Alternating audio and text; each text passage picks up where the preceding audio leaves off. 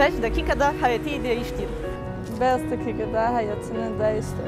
Projen ile Avrupa'ya ücretsiz gidecek, Gittiğin yerin kültürünü tanıyacak, Kendini geliştirebileceksin. Projenin masrafları Türk Ulusal Ajansı'ndan. Artık hayal değil, 5 dakikada hayatını değiştir. Bizden 5 dakikada hayatın nasıl değişir?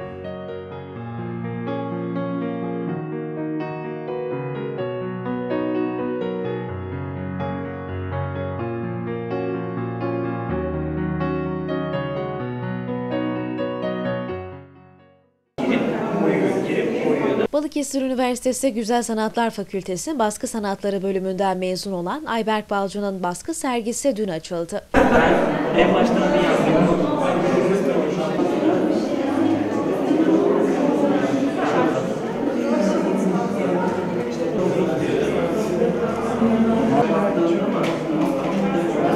Serginin açılışında Ayberk'i arkadaşları ve öğretmenleri de yalnız bırakmadı.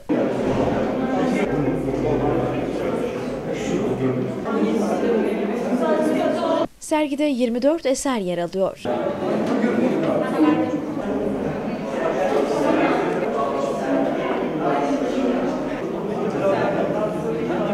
Ayberk Balcı sergide yer alan eserlerinin çoğunu Leon baskı tekniğiyle yaptığını söyledi. Bunlar lineal baskı.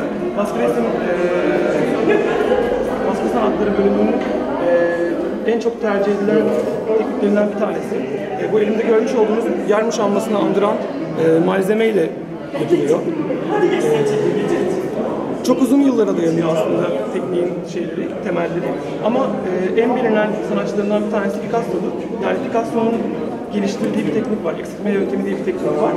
Eee, o da her rengi ayrı ayrı boya verip kağıda bir pres yöntemiyle aktarma, aktarma şeklinde oluyor. Ben de o tekniği uyguladım.